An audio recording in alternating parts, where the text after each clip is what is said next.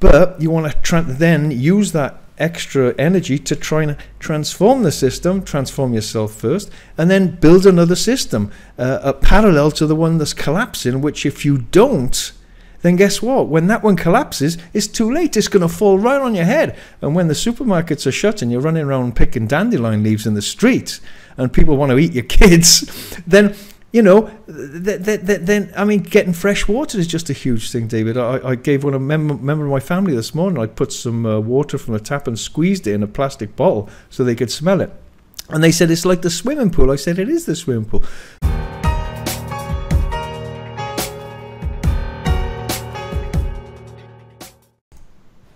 Hello, good evening. As promised, here we are again on Outside the Box. I'm Jason Liosatos. My guest this evening is David DuByne. You can find David on 20 uh, Adapt 2030 on YouTube, oilseedcrops.org. Um, this uh, David is the culmination of a great. Um, we, have had a week with Tip, uh, Professor Tim Ball, who uh, is talking about climate change or the lack of climate change. To David, I'm delighted with David's work. I've been watching David's work for a while amazing guest. David, listen, thanks for uh, joining me tonight. Really appreciate you coming. Glad you're having me on. We had a couple really good pre-conversations before we're coming into the interview, and it's all about understanding the changes that are happening and what we can expect moving into the future. Because if you understand how the past grand solar minimums unfurled and what happened in society during these times of reduced food output because of cycles of the sun, then we have a really good blueprint moving forward into 2023, 24, the global awakening and awareness of this uh, grand solar minimum and how it's going to happen. And then if you know all this, you can come at it with understanding instead of fear. You can make better choices. So, you know, what we've seen over this last week with these record snows across not only Sweden, Russia, United States, Canada, and this is just the beginning. It's only, you know, the last day of September, first day of October, just a week after summer and they're having four feet of snow in places. This is truly unprecedented. I was surprised in the mainstream media in the United States that they were calling it unprecedented, historical, using these types of adjectives in mainstream publications. So it had to be the granddaddy of granddaddies for them to use that kind of lexicon in news headlines. Magnificent, David. It, this is wonderful because um, you're one of the very few people I know that speak about the whole thing. Um, just a quick thing for people. Um, because a lot of my guests think, oh gosh, here we go, it's the climate change thing. Well, guess what? Um, it's good news. Don't. This is going to be a positive show because let's let's be honest. Ignorance is, is, is not. ignorance is very silly. If you're in a prison and you're being herded like an animal, and other people in the prison are saying to you, "Hey, listen, guess what? I can explain it to you and I can explain how it all works. People like David DuByne, and this is what's going to happen. This is what's happened before. We can change the timeline. You know, uh, everything that's happening around us now. Let's not forget, other than the climate and things like that doing what it wants to, is a consequence, a feedback loop of things that have taken place before with wisdom and vision or with stupidity and um, ignorance. So this is a very good news situation we're coming into now with people like David explaining how it all works, you know. And just a quick thing I want to say to people, which is very interesting, it's just not brilliant, but I looked at my uh, show with uh, Professor Timothy Ball earlier, um, uh, David, as I was telling you, you weren't surprised. And um, suddenly there's this thing on there uh, from Wikipedia saying, oh, climate change, explaining what climate change is, stroke isn't. I thought, whoa, that's interesting. That's never happened to me. No one's ever put that on there before. And then I looked at a Sky News Aussie um, program, which was surprisingly talking about um, uh, the sham of the whole thing. Um, they had one as well. So, you know, it's, it's, it's quite, a, um, I would say, quite a compliment, really, David. Well, I look at more of it a, a badge of authenticity, a verification that the information we're speaking is truth and that the narrative that they're so desperately holding on to, and when I say they, I talk about global leaders, the IPCC, and these uh, NGOs that want to implement a global tax based on carbon emissions and reduction of your lifestyle. They're trying to hold that narrative so near and dear that they're afraid of any competition. Why are they afraid of us saying that, you know, if it's such a proven science, then why are they afraid of me coming on the channel and saying, hey, it's the sun, and we're repeating cycles? Because, you know, the, you talked about that just a minute ago. The ancient civilizations and the ancient societies left us these messages in their stelae, their legends, the myths, the carvings, codices, and whatever for us to decipher and understand these cycles.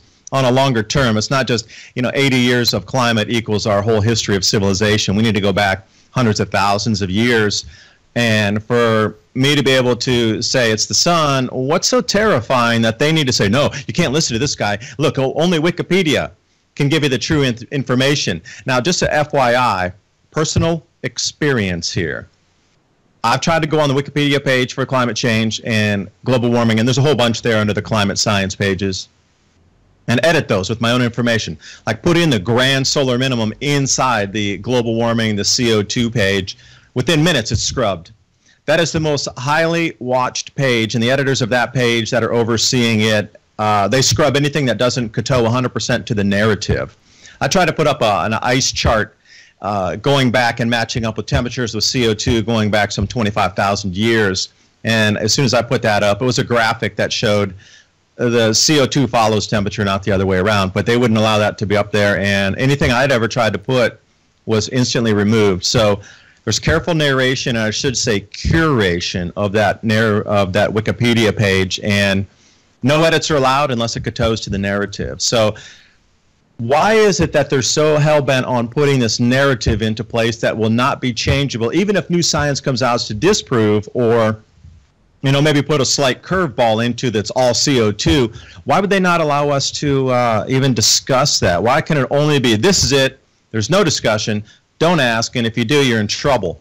When you uh, this is most amazing thing this climate change and that's what I want to get get your uh, handle on now before we go into all the the the, the, the details of it because it's very important because people are going to be thinking this. You know then if if, if this is so so delicate this situation and they they don't want anyone to look at this the question is this and you'll be able to answer this for me in detail I can only guess. Why? What is it? Who are they profit it's got to be something like profit, control, depopulation. What are they stopping everyone becoming aware of it for, David? Can you expound on that in the, the great way you do, please, for everybody? And everybody, listen carefully. Don't turn away because this, this is your future. And people who haven't been born yet, you're the midwives now who your decisions now and whether you're brave enough to look at this situation is going to going to help or hinder the future of your children and grandchildren. And by the way, that's why you feel strange inside. It's a symptom of a system that's driving you nuts and lying to you. So, David, can you expound on what is the agenda behind all this?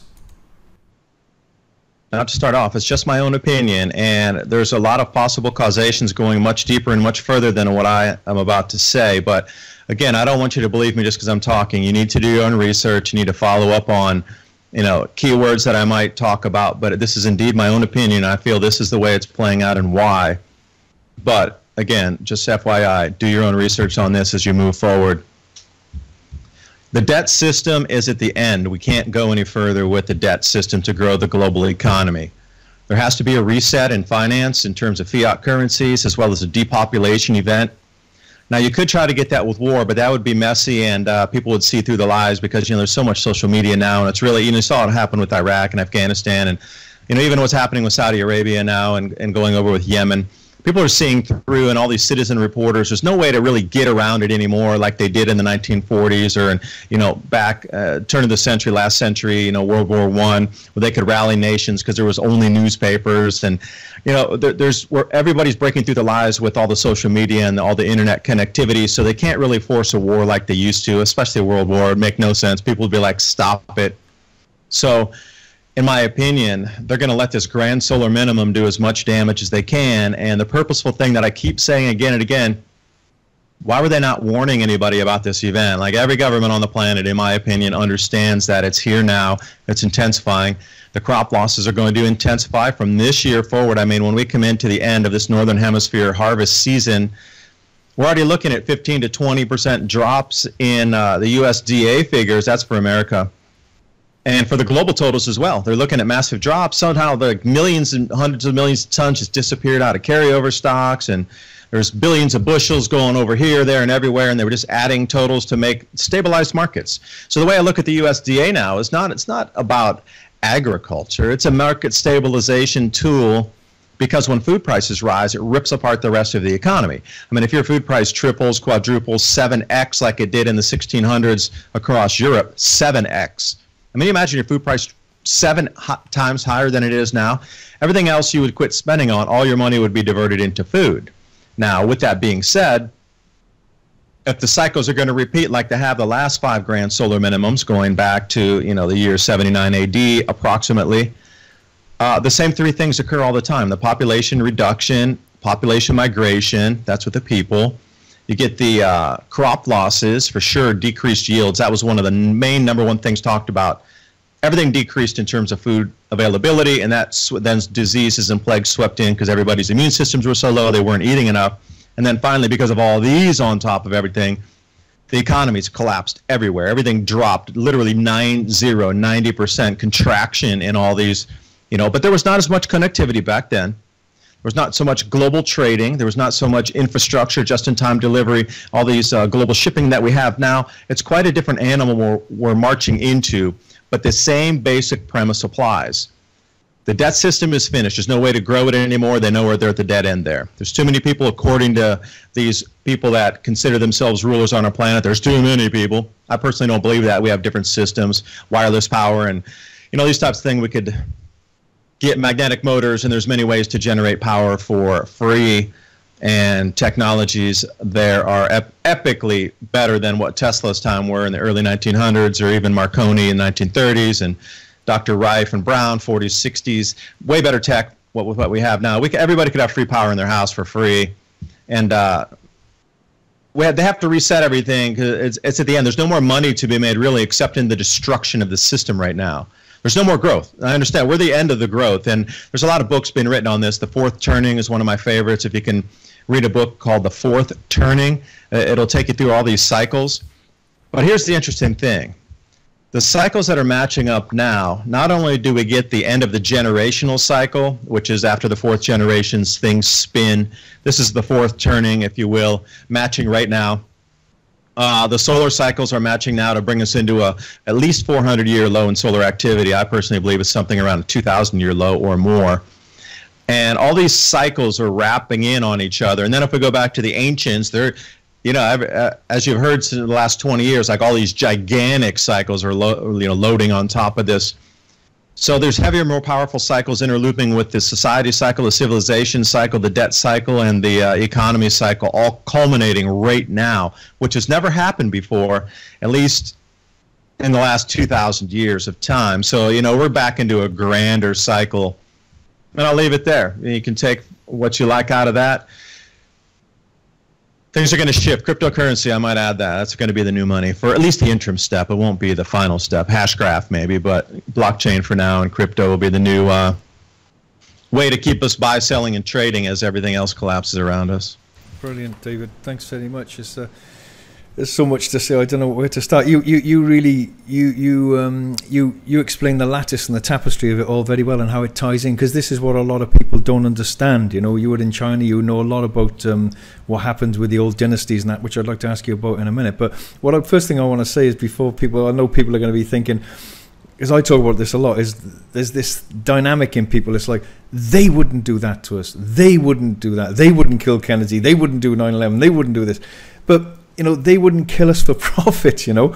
And I think there's a big block there. A, a lot of people that are watching this will know about what you're talking about. And a lot of people will be thinking, well, surely uh, they wouldn't do that. They, they they want the best for us. They're our mums and dads. It's like honestly, it infuriates me how people still believe. I mean, in here, like the Queen's there, people just look at it. Oh, and she's got a few people: democracy, Labour, Conservative it's the same thing, really. And many years ago, we would have all had our heads chopped off a long time ago. So let's get it clear, everybody. They don't care about you. They just want profit and, and everything. You've been to the Georgia Guidestones, uh, you told me, you know. And I, I, enjoyed what you said about the printing press um, in one of your talks, um, um, David, before we go into the whole cycles uh, about blocking people and shutting people down. And um, I'm still really interested that this whole thing is so vehemently against anyone talking about this thing. Something huge is going on, you know? Something huge. Well, I call it a society reset button, and that's purely what it is because all these cycles culminating, again, they're going to want to cut the uh, flow of information. Now, China's follow what China's doing to cut the flow of information. They're quite good at what they're doing to stop protests and interconnectivity of people across the country fighting for the same whatever it is against a, a new chemical factory going into their cities. Um, you know, new mining, and so you know, taking away the homes to build up something where the government officials are then skimming the money, and only the government officials get rich, but all the locals lost their land and their homes, and you know, th- there's a lot of interconnectivity and the same issues across China. You know, you could probably get any one time if you had a real chat board that was open, there'd be 50 groups across, you know, the provinces of China all talking the same thing, hundreds of thousands of people. But China has cut that to make literally everybody an island so when we move forward with this, and there's crop shortages, and you know maybe food riots in some cities, I don't know if they're going to want you to be explaining all this. So I, I, see the social credit score, you know, coming into the West more like China's social credit system. Uh, I can see, I can't. Everybody can see what's happening with the uh, censorship across social media right now. I mean, this is the cusp of where it's going to stop the flow of info. And you brought up the Gutenberg printing press there. And the quick story is if you go back into the 1600s and 1700s, as, as the Gutenberg printing press was becoming more popular, the Turkish Ottoman Empire, especially in the 1800s, like you can't bring that thing in here and print your own information and give information to people. We control all flow of information. So if you were caught with anything from that printing press, even if you had like a cue from the press that you just had and you maybe you bought it in Italy and you're wearing as a necklace, like, hey, I went to Italy, look what I found. I found this part of the printing press and I bought it. Just because you were trying to prevent or you know purvey some information, they wanted to prevent you so heavily from sharing that. And what happened is they became an island of just the same echo chamber for over a century.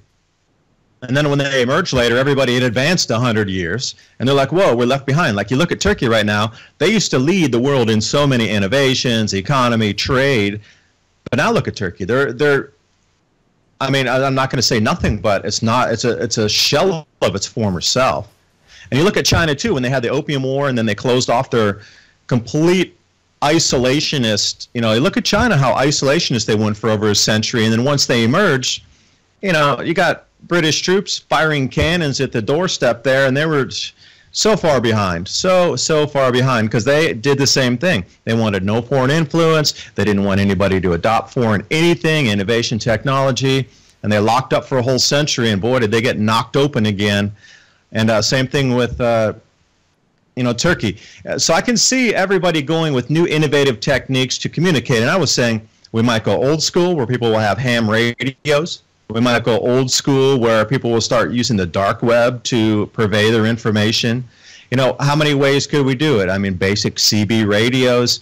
You know, maybe people will just have to go back to podcasting and radio broadcasting uh, to get around the censors that are online. Wouldn't that be amazing that if we have to go back into radio broadcasting to give the information out because we can't put it on the uh, actual internet, then we have to go back to the airwaves again. It would be just like a big circle. It would be a cycle again, a communication cycle perhaps. Oh, well said, David.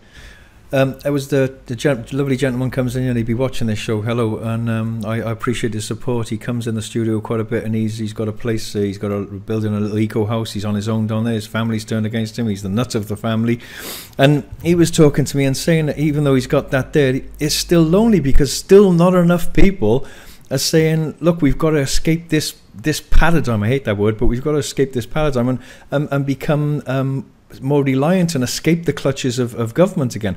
You know, government for me is a sickness, and, it, it, I know it's, it's, useful as well. I know we, we you've talked about that, but in its current form, um, it's doing it's doing a, a, lot of damage. The government the government's the best is the government the government's the least generally for me, but until we can escape, I think there's a race. Can we escape the clutches uh, is a race to the tape, really, for me, and create our own systems and get enough people to come forward. I was talking to someone the other day. My street where I live, David, if everyone sold their houses on their street, that street, there's five million pound there. That could buy five farms with a hundred acres each but they're all still there, hearing each other fart and have sex and argue in the night uh, with their little back gardens and their little cars on their drives. So it's almost like David Icke's been going on about for years, this divide and conquer thing, isn't it? That keeps people apart. And, and people fear criticism so much. And they also, we're talking in the studio today with people, they fear, someone was saying, I want to do something different, but they fear criticism, they fear failure, they feel suppression, they feel incarceration. So it's almost like, well, I'll carry on doing what I'm doing, even though I'm a slave and even though I, I'm persecuted and I'm being suppressed. As long as I don't do anything wrong or say anything wrong, I might just get by till I get to my coffin, you know? People have got to break free of that. And it almost feels to me that there's got to be a few things rocking before people go, oh my God, what are we going to do? Like the supermarket shut, like we'll, go, we'll talk about in a minute, and there's nothing on the shelves you know, everyone will be running down to the wild John, who I know here, and saying, "John, you said we can pick stuff. What should we do?" So, do you see what? How do you see that going? I mean, we'll talk about the cycles then in a minute. Well, at that point, it's far too late, and your friend John probably will lock up shop, close up the border, and be like, "Don't talk to me. It was way too late. Noah's Ark hanging here." You know, it'll, it'll be yeah. It'll be exactly like that. It'll be a tidal wave of humans just freaking and uh, just in total panic and fear and terror. Because imagine if you got try to get to the store. Okay, you and I, as a as a male individual, you know, we'd have our own set of things to go through and trying to figure this all out if we were unprepared. Now imagine if you have a wife and two kids and they don't know what's going on and they're not eating. So what are you going to do to feed your family? You know, this is the point where it starts to get tumultuous and without the preparation and again, the, I, I like to identify these powers that be and uh, you know, could call them they. It's such a broad stroke on everything, but who would the they be? You know, if you can start to identify the playing parties that are pushing these narratives. So again, we come up to the UN, the IPCC, and everything else with the NGO spectrum going down like that pyramid David Icke talks about. And every everybody in there, inside there, is pushing the same narrative because they have to say the same narrative or else they lose their position. So now everybody's bound by money. Now, do they really believe what they're talking about? Perhaps not. Perhaps there's a 50% of them that don't believe it, but they say what they need to to continue to have that position so they can have their money to have the house you're talking about with the little nifty car in front. But when we do come back, uh, the governments have done a very good job of pers- dissuading anybody from self-sufficiency. You know, oh no, you can't have a garden. For example, in the United States here, there's so many ordinances where you cannot grow vegetables to eat in your front yard has to be remain like ornamental plants and grass. And then there's other states where you can't even collect your own rainwater. If you do collect your own rainwater, uh, you're fined and they can confiscate your property, put liens on your home, and actually kick you out of your own home because you're collecting the water because they feel that the rain would fall, and if you didn't collect it, it would go into a stream, and then it would go down somewhere, and they could sell the water rights to a farm or a factory or something. but the minuscule amount that you would collect of how many hundreds of gallons, you know, if it rained, but they made that illegal. So everywhere you're looking across the whole spectrum, they've dissuaded everybody from shackles, shackles. Yeah, and even when you come to the farmers markets, it used to be kind of a freewheeling. If you had anything that you grew, you could sell it at the market. Now they want everybody to have a permit. You got to get this cleanliness, uh, phytosanitary permits. You need to show revenue. They have to register as a business. So that's expensive for people that are just have an extra 10 heads of lettuce that they grew through the week so this whole growing your own food and being able to share it as a market economy where if you can grow extra, you can like sell it on the weekend, trade it. Now here's this most insane thing. Let's say you have 10 heads of lettuce and you want to trade it for I don't know, a box. Like you're going to move and I go, "Hey, I got some lettuce and you have a bunch of empty boxes. Let's trade that." Now the government wants you to put a value on it and then pay the tax on your bartering here. This is how insane it's gone to. So the self-sufficiency of even being able to barter for an item after you've grown your own food, is still nanny state is right in the middle of that, and they want you to pay every step of the way. So you can see how they've pushed us away from self-sufficiency for the last 40 years. You know, during World War II, you know, you know, both of our countries, it was always about the victory garden, grow hemp, grow this to support the war effort, grow as many veggies as you can so all the extra canned food can go overseas to the troops. Whatever happened to that? Like people had acre gardens. Like almost every american home grew as much food as they could extra extra extra to even give to the war effort to send to the troops. And now after the war ended it was all like no don't grow anything. Go to the supermarket. Supermarket has better quality. Supermarket's cleaner because you see how they have that pla- that fancy plastic wrap around it. You don't need to grow your own stuff. It's just easier to go to the market and get it and heaven forbid talking about chickens, goats, or rabbits or anything on your farm or your or your backyard where you could have a meat source or a pond with turtles. Oh, he killed a turtle. He's animal cruelty. You need to arrest the person that killed a turtle to eat out of their pond. Oh, it's just like this. It's so nanny state and self-sufficiency of your own protein sources. You can't do it. Raw milk can't have raw milk. Oh, they come in SWAT teams now to uh, close down local farms that have cows or goats offering raw milk, which means unpasteurized, because it's such a health threat. You know, it's it's so borderline absurd here the way they're pushing everybody away from self-sufficiency. They want you to get back into the gargantuan machine as much as they can. And if they're losing 20 bucks per person because you're growing your own food, they're multiplying that per week times person times X times X on their bottom line. And they're saying, well, they're losing too much money. Every cent you make has to be put back in the system. No self sufficiency for you, my friends. It'll be outlawed. Yeah. Already is being. Yeah. Sad, isn't it? Yeah, it's it's it's it's it's, it's, it's a funny time to be on the planet, David. I know we're, we're coming to other things in a minute, but it's good to put a bit of a thing here. Base camp. It's very sad. It's it's, it's tragic, comical, and the but it's also so exciting. At last, I mean, we spoke about this earlier. I know I know I'm here on the planet for the right time to talk about what I talk about and write about my books. And like you write about your book, let's just flash a book up on the screen. I'm sorry, David. I should have done that in the beginning. That's Climate Rev end of it is the solutions section, which I think is the best. You know, a lot of the explaining the cycles and how the sun works and the, the minimums and the way the solar cycles work, ebbs and flows of history, great. Civilization cycles, awesome but it's more about the solutions end of the book, uh, which I found, uh, which I think is the most valuable. Yeah. But what you know, put your book up there too, because you know to have two resources for people to draw from. That that's the key. It's about information sharing. Okay, here's mine: the emergency transformation of human beings as the solution mm-hmm. to the world's problems. And when I wrote that book seven years ago, I, th- I, I thought people are going to think I'm imagine uh, um, uh, uh, uh exaggerating the emergency.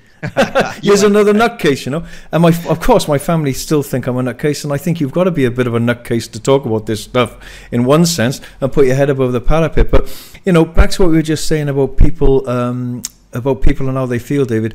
I, I think there's such a consciousness and a, con- a revolution of conscience, consciousness. Hong Kong's a good example and it's almost like they won't i can see that they're not going to stop until something's done but Uh, uh, I get people coming here, and, and, and, on a very positive note here for people. I never used to get this. I've had this studio for eight years, and now more and more and more, I'm feeling people coming in, and it seems I don't necessarily initiate the conversation. It's just like they want to talk about how they feel, and most people secretly feel completely in despair and at their wits' end because every day They've got to go into the mental asylum system, which the symptoms of depression and despair, that's what it's doing to them. And then natural symptoms. It's, it's, I had a therapist in here today who helps people with transformation. And she said the, the same thing people have uh, uh, feel in such secret despair they don't talk about it so when we start now is the time to talk to people about how the system is how it's designed because what it makes people realize then is, is maybe they don't get so angry and say, "Don't tell me I've been fooled for 50 years or 30 years and I'm, I'm I've been lied to and cheated and I was and, and are you telling me and I, I was an idiot and I didn't see this?" Well, no, I'm not saying you're an idiot. An idiot. It's just you didn't see it. It's okay. Uh, you know, walk into a prison and say, "Can you see the wall, you idiot? Can you see the wall?" Because often you only know that it's a prison when you start trying to escape, like the Hong Kong people and like the people in France, or when you start talking about it and down comes YouTube on you, or your family attack you, or whatever it's a fantastic time to be alive now because more and more in this studio I'm getting people coming in and saying, oh my God, I really feel it. I want to talk about it. And I say, yeah, you should feel like that. That's a natural way to feel. Don't fight it. Sure, you don't want to stay like it. And also, you don't want to stay in the system and transform yourself like Eckhart Tolle and those wonderful people are saying. You don't want to transform your system and find peace again within a system. If you're going to stay in the same system, it will help. And I'm going to do programs on that next week. But you want to tra- then use that extra energy to try and transform the system, transform yourself first, and then build another system, uh, a parallel to the one that's collapsing, which if you don't, then guess what? When that one collapses, it's too late. It's going to fall right on your head. And when the supermarkets are shut and you're running around picking dandelion leaves in the street and people want to eat your kids, then you know, th- th- th- then I mean, getting fresh water is just a huge thing, David. I, I gave one a mem- member of my family this morning. I put some uh, water from a tap and squeezed it in a plastic bottle so they could smell it. And they said it's like the swimming pool. I said it is the swimming pool. So people are under a barrage of attacks, which is making them feel terrible. But ironically, as we both know, it's that suppression and that dumbing down, which is the very thing that's is is bringing people around from the chloroform. It's like a pillow. The harder it's pressed on humanity's face, and the more desperate people become. And better still, like I like like your work so much, David, because you cover all areas. and you're giving people solutions. You're saying, look, this is a real opportunity. You know, uh, we can see this coming, this change with crop failures and things. We can make the most of this, and out of that collapse, we can create a new paradigm. Otherwise, when it does collapse, the government will just step in. Everyone will be like Oliver Twist with their bowls. Oh my God, what are we going to do? We're helpless. Well, we say, We told you. You had a chance, an opportunity to, to create stuff. Do what David's saying in his books start growing your own food come together as, as, like a family a global family don't be divided and conquered you know it's a very exciting time for humanity but like you said it's happened again and again and again and people people are saying well what's what's the global you know the global thing that david's talking about you know the 400 year, th- 400 year thing with china is that that's why china's buying up africa right david? You were, we were talking about it earlier on with getting the rebels out and that